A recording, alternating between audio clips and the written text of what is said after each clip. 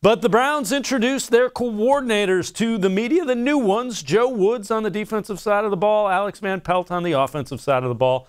Joe Woods said he wants to play a lot of different coverages from the same look. Sounds like a good idea.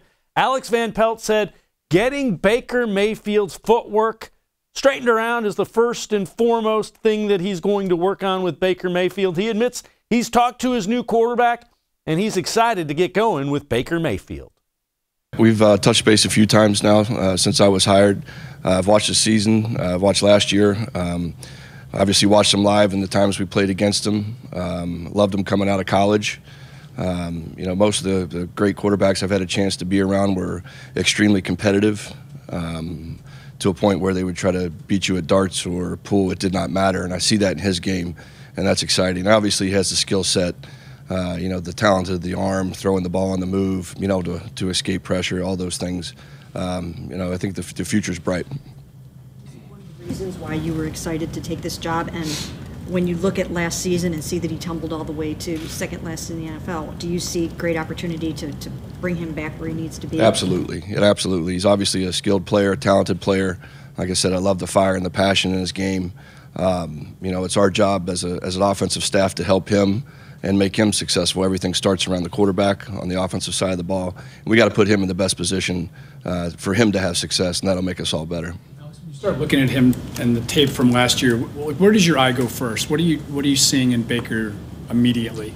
Um, I think the ability to avoid pressure, escape pressure. Um, the biggest thing that stood out probably on the tape was his accuracy on the move, outside of the pocket when he had to create an escape, whether it be uh, the play action pass game where he's keeping the ball or he's breaking contain from a pass rush and then throwing the ball accurately down the field um, at all levels. Look at it and say, "Hey, we can we can fix this and get him back on track." Yeah, there's some fundamental things I've you know kind of targeted for him in the offseason, but that's just more football techie talk, you know, quarterback talk. But um, decision making, you know, the increase of interceptions, that'll be something that'll be a point of emphasis, making the right decisions and protecting the team and protecting the ball. Um, I tell you what. Uh, just from last year, uh, playing against the guys and having a chance to look at the tape, uh, we have a talented roster. I mean, there's some some guys that are very talented on the defensive side of the ball at the right positions. So I feel like I'm really coming to a, a very fortunate situation uh, where we have some of the pieces in place.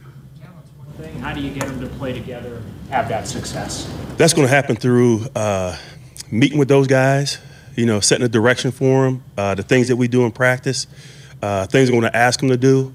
Uh, but through that whole process, man, we'll get those guys playing together. About the key positions and guys there? Who are you talking about? Rushers and cover guys. You know what I mean? Uh, I think our front is, is very good, is very talented. Um, it's going to be our job as coaches to get them to play uh, as good as they can to their ability level and um, in the back end, just have uh, some young corners. And, you know, I've coached corners my whole career, the back end, but when you have some young, talented corners, man, that, that excites you. How much different is the style of defense you coach to what they played last year? I mean, really, with defenses, they're all. I mean, everybody really runs the same stuff. It's just how you do it. But everybody's going to run 3D. Everybody's going to run man, man pressure, fire zone. But I think it's about how you put the package together. Uh, I want to make sure that I give you know offenses a lot of the same looks, but play different coverages and make them figure it out at the line of scrimmage.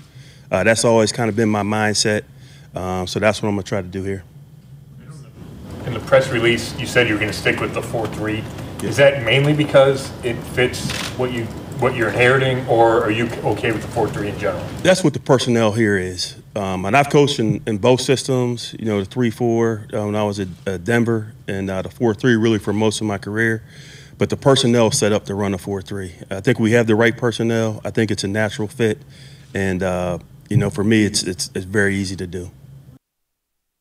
Joe Woods, the defensive coordinator. Before that, Alex Van Pelt, the offensive coordinator for the Cleveland Browns.